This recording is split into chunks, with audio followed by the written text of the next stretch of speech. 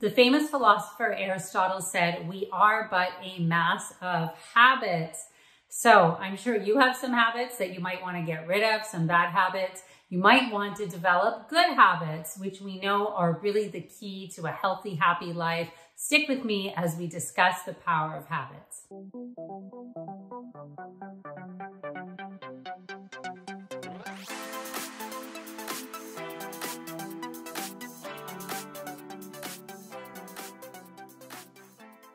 Hi everyone, I'm Dr. Shimi Kang. Thanks for joining. Please remember to subscribe to the channel and thank you for taking the time to invest in the power of your mind. The way I like to explain habits is this wonderful term, neuroplasticity. Yes, it's this complicated term, but really all it means is that our brain can constantly wire and rewire. It is plastic or neuroplastic. We have this amazing ability to make change, to learn, to shed the old, bring in the new, but it does take time. Okay, clearly I went to medical school, not art school, so I'm not the best drawer. However, the trails in a forest, which I attempted to draw, function the exact same way as the trails in our brain, meaning that if you want a neural pathway to develop, you have to walk on the trail, just like we have to walk on the trails of our neural pathways. So just like the trails in a forest don't just show up, they have to be walked on.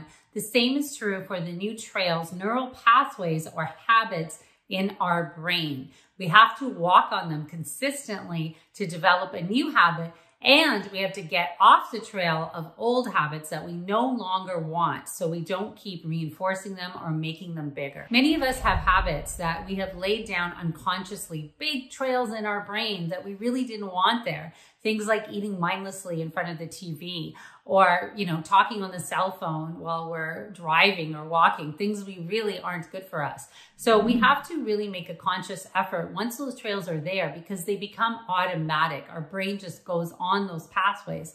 Just like when you go in a forest and you go on those bigger trails that are already developed, it's a lot easier than trying to cut new bush and get onto new trail. The good mm-hmm. news is that we can all change our habits. This isn't something reserved for certain people with grit or discipline. It is in all of us.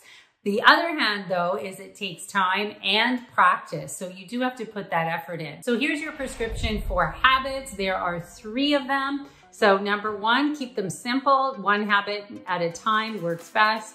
Make it small, little baby steps. So one to two minutes of meditation or walking and build from there. And number three, add positive emotions. So when you add the positive emotions of relaxation, no stress, rewarding yourself, taking the moment to be proud of your efforts, and really uh, firing and wiring that positivity, it'll be much easier to get off those old trails and onto new trails that will better serve your health, happiness, and achievement.